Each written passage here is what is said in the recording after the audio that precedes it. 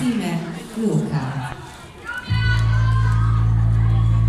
Hola, me llamo Anita, mi escribo pelo rosa, culo gordo.